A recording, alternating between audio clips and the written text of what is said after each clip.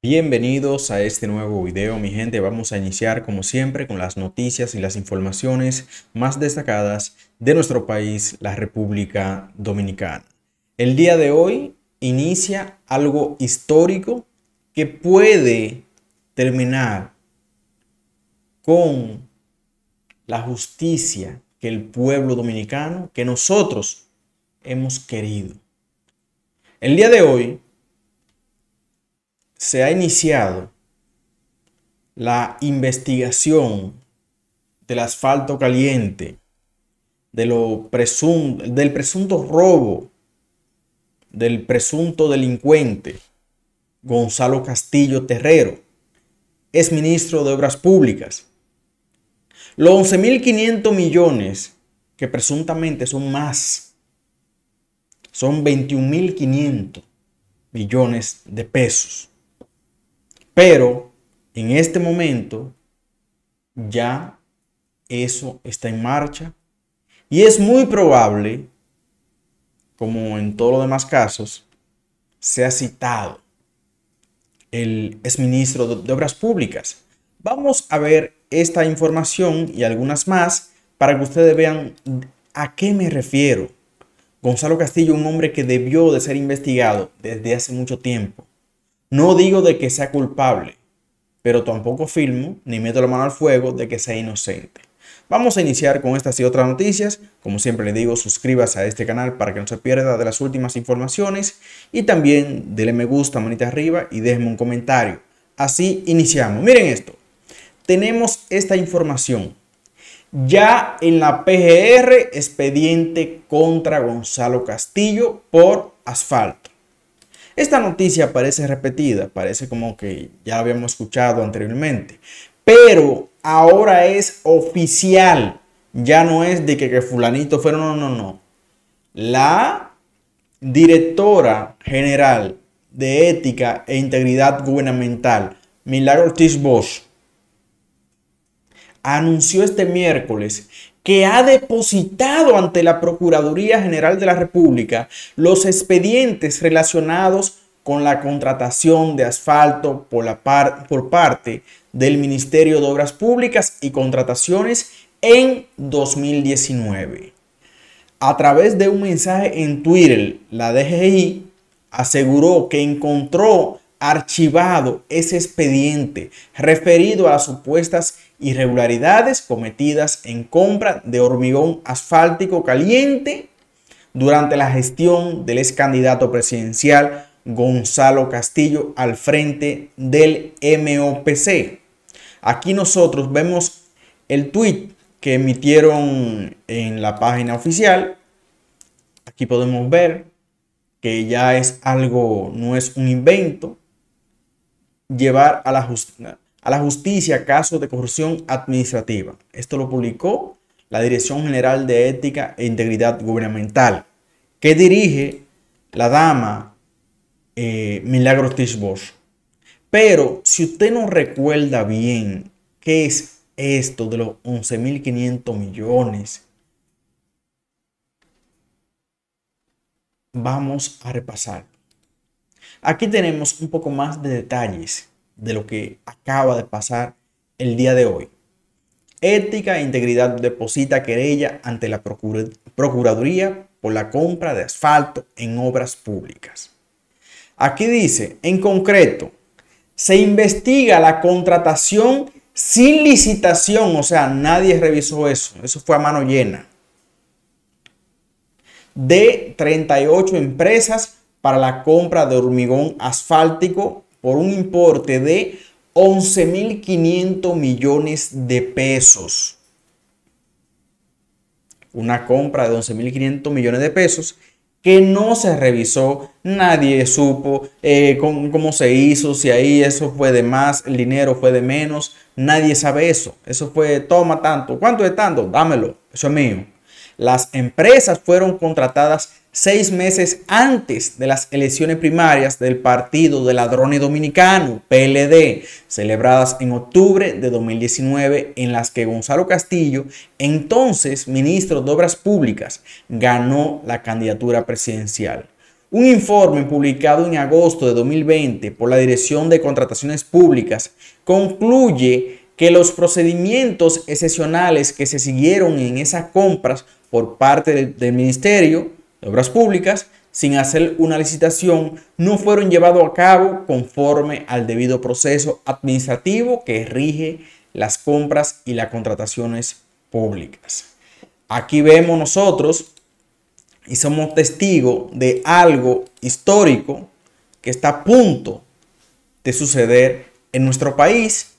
El señor Gonzalo Castillo por fin le va a responder al pueblo dominicano.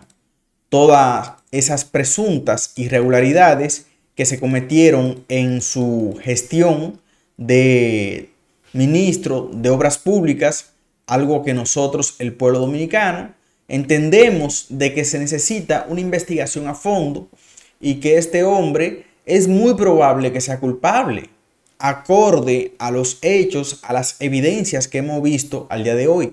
Pero quien tiene que decidir si es culpable o inocente es un juez o una juez.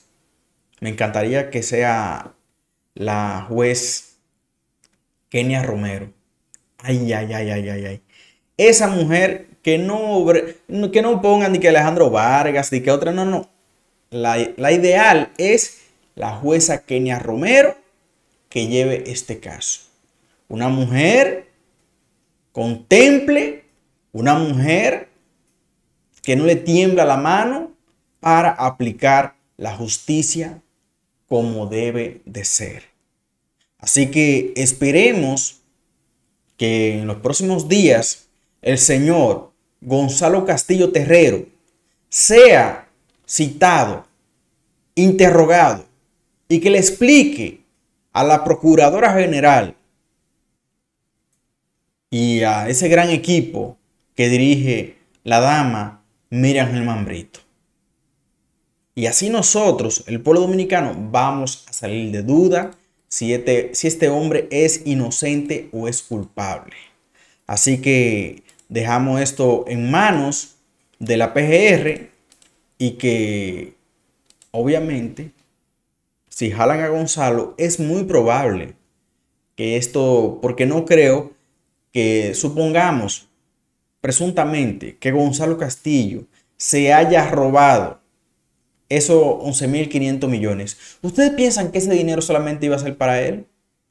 ¿Ustedes piensan que solo fue Gonzalo que dijo, son 11.500, tómalo? No, eso no fue así.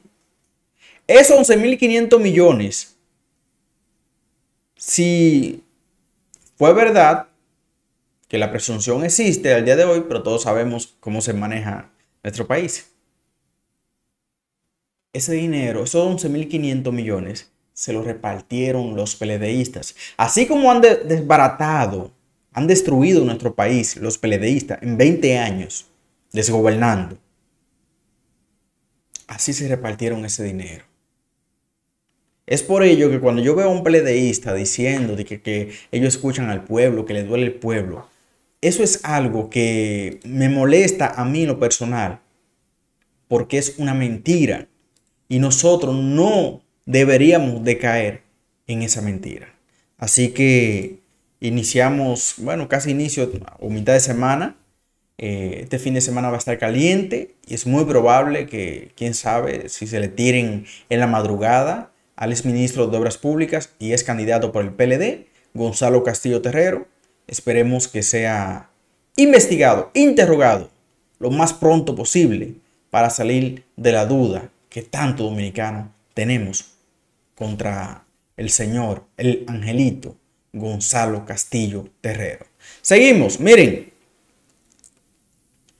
hay algo que en nuestro país sigue sucediendo. Y es que Leonel piensa que el país es el mismo. Diputado Aníbal Díaz Dice Leonel no entiende que el país cambió. Cabe destacar que los diputados en su mayoría no sirven. Si acaso de 20 diputados podemos sacar dos o tres, tal vez, que sean medio serios. Yo no soy quien para decir quién es serio y quién es ladrón, pero una persona seria ejerce su trabajo, una persona seria no cobraría barrilito.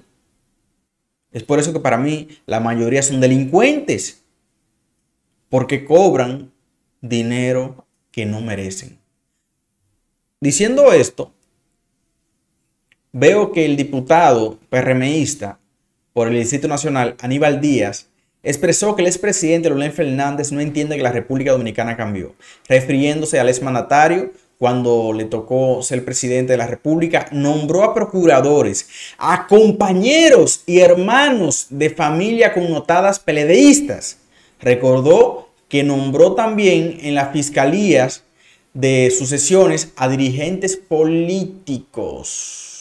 Leonel, por eso fue que a Leonel nadie lo investigó, porque Leonel puso su gente. Miren, si Leonel hubiera dejado una justicia independiente, estuviera preso al día de hoy. Leonel Fernández, claro que sí, hubiera sido investigado en ese entonces, pero vemos cómo aquí se confirma que Leonel Fernández puso a su gente y es por ello que agarró a mano llena, bueno, que presuntamente se robó medio país a mano llena y no, ni siquiera fue investigado. Aseguró que para el expresidente es un poco incomprensible lo que está viviendo el país en estos momentos. Asimismo explicó que en el país no solo se vive de un nacional político distinto, sino que la República Dominicana de hoy no tolera que hayan militantes políticos, digamos que confesos abiertos, gente que se fue a acostar siendo fiscales como Moscoso Segara, que se levantaron siendo jueces independientes, ese es Leonel. Aquí estamos mirando eso. Sin embargo, nosotros vimos que este hombre habló, y quiso hablar fuerte, pero pasó vergüenza. El expresidente Leonel Fernández pasó la vergüenza más, más grande de su vida. ¿Pero por qué pasó vergüenza el expresidente? Porque fue evidenciado como un mentiroso. Y yo no tengo nada en contra del expresidente Leonel Fernández, nada personal. Pero yo hablo, le hablo al político Leonel Fernández. No me interesa su vida personal. No tengo nada contra él. Pero este hombre fue evidenciado y quedó como un charlatán a nivel nacional e internacional. habló de una pretensión de un ministerio público independiente, de una procuraduría independiente, y ahora dice que no. Entonces es contradictorio. Tiene mala memoria este hombre. Y el cambio de posición de, Leonel sobre la designación del procurador general. 25 años después, este hombre viene a decir que no. ¿Por qué? Porque Leonel presuntamente tiene un pie dentro de Najayo y otro fuera. Este hombre, pero tiene un blindaje presuntamente en la justicia independiente, Leonel Fernández tiene un blindaje increíble. Y es por ello que a Leonel no le han tocado ni un agente de él. Porque en la justicia independiente presuntamente hay vínculos con el expresidente. Eh, hay un arreglo, un presunto arreglo. Yo quiero pensar que eso es mentira. Y espero que sea mentira. Pero no se ha tocado ninguno de la banda delincuencial que está del área del otro PLD. Del PLD y del otro PLD. Para mí son los dos PLD igualitos. Entonces aquí dice, el, el expresidente Leonel Fernández realizó la noche del lunes una locución en la que evaluó de manera crítica el manejo del primer año del gobierno que encabeza el, presidente Luis Abinader y a la vez cuestionó las intenciones del mandatario de modificar la constitución de la República Dominicana para que, para que el procurador general no sea elegido directamente por el Poder Ejecutivo. Fernández dijo el lunes en un discurso que se transmitió por canales, todo, todo el bocinaje se activó. Eh, con respecto a la idea de reforma de la Constitución de la República para establecer la independencia del Ministerio Público, la presunta fuerza del pueblo considera que ya en su artículo, aquí viene el truco, miren, Leonel piensa que uno es tonto, que uno es, que uno es descerebrado, que el único que, que entiende, el único que razona en el país Leonel Fernández. En su artículo 170 de la Constitución de la República, oigan esto, nuestra Carta Magna precisa que esa institución goza de autonomía funcional. En la Carta Magna, en el artículo 170, dice este hombre, bueno, si eso fuera así, para comenzar, él estuviera preso. Y Danilo también. Y quién sabe, Hipólito, si también estuviera preso. Pero, aquí viene y habla mentira, es un mentiroso de primera. Dice que Jean Alain Rodríguez fue independiente. Eso lo dice Leonel Fernández. A mí no me crean. Dice que Domínguez Brito fue independiente como procurador. A mí, yo no, eso no lo estoy diciendo yo. Eso lo dice el expresidente Leonel Fernández. Que esos dos charlatanazos que acabo de mencionar fueron independientes. Cuando todos sabemos que no. ¿Dónde está la, independencia de Jean Alain Rodríguez? Que presuntamente ayudaba al narcotráfico. ¿Por qué ninguno de los peledeístas cayeron presos? ¿Por qué? Si era independiente. Miren, autonomía funcional, uno. Presupuestaria, dos. Administrativa, y lo mismo señala el artículo 2 de la ley orgánica del Ministerio Público. Como los términos autonomía e independencia significan lo mismo, carece de sentido pretender modificar la ley de leyes para, para introducirle algo que ya existe constitucional y legalmente. El Ministerio Público en la República Dominicana es independiente. Oigan, qué charlatanazo Qué sinvergüenza es el expresidente Leonel Fernández Reina, jugando con la mente de los dominicanos. Él quiere que nosotros repitamos eso. Jean fue independiente, Domínguez Brito fue independiente, y fulano fue independiente, y este fue independiente, para que uno se lo crea y se autoengañe. Ustedes piensan que una persona que presuntamente, según el artículo 170 de la Carta Magna, eh, dice que es independiente. ¿Por qué el presidente lo elige primeramente? ¿Por qué el presidente es quien decide si le da tanto millones o si le da eh, o si no le da? Si le tienen a un ministro detenido, el presidente hace una llamada. Oye, fulano, ¿qué es lo que está pasando? No, mira, si tú, lo, si tú sigues investigación, no te voy a dar dinero. Te va a llevar el mismo diablo. Tú ves los 300 millones que iban destinados a la PGR, ya no van ni un peso de eso. Y el gobierno le corta esa entrada de dinero. Y adivinan qué hace el procurador o procuradora. Baja la cabeza. Sí, señor presidente, lo que usted diga. Ya eso, esa investigación, olvídela. Ah, ok, ahora sí te van los millones. Eso era lo que pasaba en la República Dominicana.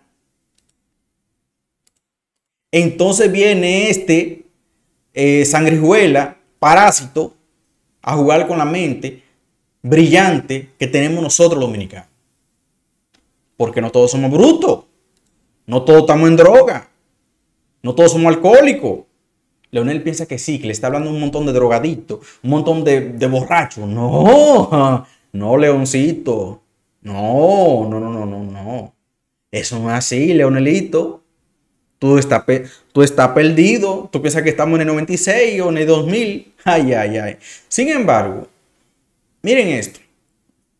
Hablando de delincuentes y charlatanes, André Bautista acusa a Jean Alain de ser un perverso que solo vive gritando y quejándose. Miren, no hay cosa más, mujercita que un hombre eh, delincuente, cuando está preso, son unos angelitos, eso lloran, lloran. son los más delicados cuando caen presos. Lloran como niñas. Yanay Rodríguez, él está sintiendo lo que sienten muchos dominicanos. Pero en el caso de Jan Alain, todos sabemos que es muy probable que sea culpable del acto delincuencial que se le acusa. El senador Andrés Bautista calificó hoy al ex procurador Jean Rodríguez como un ser siniestro y perverso, a quien acusó de falsificar y armar el expediente solo con la idea de hacer daño, maldad, con la que dijo tiene que pagar. Oigan esto, por la que dijo tiene que pagar. Es muy probable, déjeme decirle que es muy probable que Ángel Rondón, Díaz Rúa y Andrés Bautista tengan la razón. ¿Por qué? Porque Alfredo Pacheco lo sacaron del expediente. sí, Alfredo Pacheco, el que es presidente de la Cámara de Diputados. Sí, ese mismo. Ese mismo, el, el presidente de la Cámara de Diputados por el PRM. Lo sacaron. El ministro de Interior y Policía presuntamente estaba metido ahí y lo sacaron también. O sea, miren de qué estamos hablando. Lo que fueron señalados en el caso Odebrecht no se están gobernando hoy en día. Oigan eso. Eso es serio, ¿eh? Eso es serio. Pero me gustó eso, que Jan Alain solo vive gritando y quejándose. ¿Y por qué no aguanta? Que aguante como un hombre. No, no que era un hombre tan machito que se veía hablando. Que aguante como un hombre. Es por eso que no hay que hacerlo mal hecho. No se puede robar, no se puede hacer ningún tipo de acto delincuencial. Y si uno, y si uno hace eso, uno tiene que aceptar las consecuencias. Pero la República Dominicana recibirá, recibe, ya recibió, miren, 649 millones de dólares. ¿Pero de quién? Del Fondo Monetario Internacional. De esos 649 millones de dólares, usted ni yo va a ver un peso. Vamos a seguir mirando las calles igualita, la misma corrupción, lo mismo delincuente en la calle, los policías eh, con su bota y, su uniforme todo sudado y de, y de cacarao, los pobres policías. ¿Por qué no le destinan unos cuantos millones de eso a la Policía Nacional? Para darle equipamiento, eh, traer unos cuantos rusos o estadounidenses que estrenen, eh, que entrenen a los, a los Policía Nacional. Cómo tener acercamiento, usar táctica para detener a las personas. Ah, no, eso no, eso no importa. Eso de 149 millones de dólares, eso, adivinen quién se lo queda ese dinero. Presuntamente se lo quedan los empresarios. Claro. Ah, pero ¿y cómo se lo, van a quedar, van a quedar los empresarios? Eso, eso no puede ser cierto. ¿Tú estás hablando mentira? Directamente no. Pero de eso se le paga a fulano tanto, a fulano tanto, y Vicini, y que aquí, y que allá, y David Collado, eh, turismo. Eh, ¿Usted me entiende? El dueño del país, Lisandro Macarrulla. Sí, porque son los dueños del país, son los empresarios más destacados del país. Entonces, nosotros aquí vemos cómo nosotros somos millonarios y llega el dinero, y llega el dinero. Aduana rompió récord. Y seguimos igualito, muriéndonos del hambre. Seguimos igual. Si esos 649 millones de dólares se destinaran realmente al país, no hubiera un solo hoyo en la carretera. La República Dominicana es pequeñita. Nuestro país es pequeñito, por Dios. Somos un puñito de gente. Un país pequeño que arreglen las calles, más seguridad. Bueno, eso es si lo transparentaran. Miren, si el presidente Luis Abinader no utiliza la transparencia en estos millones que acaba de recibir y en los demás préstamos que a lo mejor hagan en un futuro, entonces Luis Abinader estaría actuando como actuó Leonel Fernández, Hipólito Mejía y Danilo Medina en oscuridad porque en lo oscuro es bueno. En lo oscuro uno hace lo que sea, le dan un trompón a uno y uno no sabe quién fue. ¿Y quién fue? Y le roban el dinero a uno. ¿Y quién fue que me robó? No, no se sabe porque está oscuro. Tú no ves nada. Eso es lo que está pasando hoy en día. más de 14 mil millones de dólares y no sabemos a dónde se han ido. Ah, no, pero se fueron en la pandemia, se fueron 3.500 millones. Déjese de eso. 3.500 millones en la pandemia. ¿Y lo demás? ¿Se fueron a la policía? ¿Se fueron a la educación? No. No se sabe. Entonces, se está actuando igualito que cuando el PLD. Eh, Luis Abinader tiene que esforzarse y usar la transparencia porque es un hombre que se vende como un hombre serio y yo le creo que sea serio, porque hasta este momento ha actuado bien. Pero si no usa la, transparencia, va a salir de ahí manchado como un corrupto, lamentablemente. Yo no quisiera que pase eso. Yo quisiera que se use la transparencia, que sea diferente a Leonel Fernández, a Danilo, a Hipólito. Sí, que sea diferente. No todo puede ser igual. Sin embargo, algo que me llamó mucho la atención a mí fue la respuesta del embajador haitiano en la República Dominicana. Este hombre apoya el muro en la frontera, cree será bueno para Haití. Miren esto, el embajador haitiano dice que sería bueno el muro cuando yo pensé que estaban en contra. Para Haití, Smith Agustín embajador haitiano en la República Dominicana, favoreció el muro que levanta el gobierno dominicano en la frontera con Haití, bajo el entendido de que favorece también a su país porque evita el contrabando de mercancía. Es un proyecto positivo que Haití pierde el, contrabando, declaró el embajador. Miren, un hombre sinceramente me sorprendió eh, con estas declaraciones. El embajador, algo que es eh, respetable algo que me llamó sumamente la atención a mí y qué bueno que lo vea de esa manera, que no lo vea de una manera, eh, ah, no, es que no, no, no, muro sería lo ideal eh, para que haya control en la frontera. Pero bueno, así está nuestro país, la República Dominicana. Qué bueno mi gente que llegó a este punto del video. Como siempre le digo, suscríbase a este canal para que no se pierda de las últimas informaciones. De me gusta, manita arriba y nos vemos en los siguientes videos.